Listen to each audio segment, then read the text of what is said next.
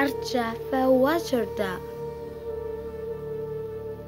الحياة هنا ممكن تكون صعبة. حتى لو العالم بيشوف إنه ما عندنا أمل. أنا شايفة أمل ورجاء.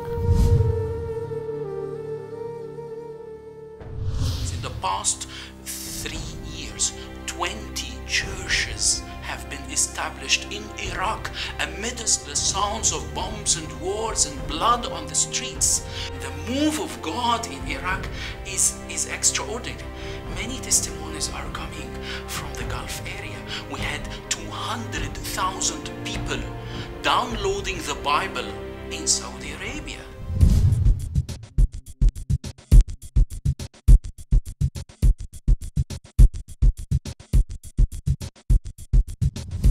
People are waiting, hungry for the gospel. One of the most powerful tools that God has in his hands to reach out to Muslims is me, you and us.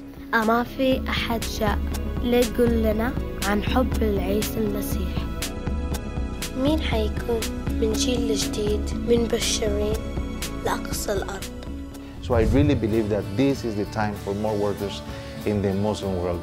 نحن مع بعض ممكن نشوف حلم الرب يتحقق.